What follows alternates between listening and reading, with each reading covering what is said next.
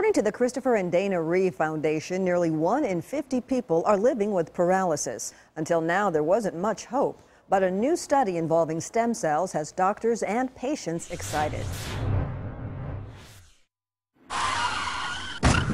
Two years ago, Brenda Garris's life changed forever. They told me that I uh, went into a ditch and was ejected out of the vehicle. The accident left the 26 year old paralyzed from the waist down and confined to a wheelchair. And I don't feel any of my lower body at all. Brenda has traveled from Kansas to UC San Diego to be the first patient to participate in a groundbreaking safety trial testing stem cells for paralysis. We are directly injecting the stem cells into the spine. The stem cells come from fetal spinal cords. The idea is when they're transplanted, they'll develop into new neurons and bridge the gap created by the injury by replacing severed or lost nerve connections. They did that in animals, and doctors are hoping for similar results in humans. The ultimate goal to help people like Brenda walk again. Ability to walk is obviously a big deal, not only in quality of life issues, but uh, it also affects your survival long term. Brenda received her injection and will be followed for five long years.